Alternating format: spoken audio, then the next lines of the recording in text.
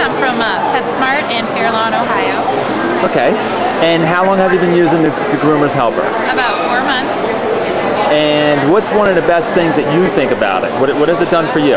Well, it keeps really good, good control of the dog's head, um, especially if they're not doing so well with the grooming process. If they're going to turn around and bite you, that's there to stop that from happening. Because I, I know that nothing bad's going to happen to me or to the dog because their head is so secure in there. Um, it works a lot better. So, um, I don't spend as much time um, controlling the dog. It, it, controls the dog for me. So. And this one last thing, would you recommend it for other groomers? Definitely. Definitely. Definitely. It's been really nice to have in the shop. So.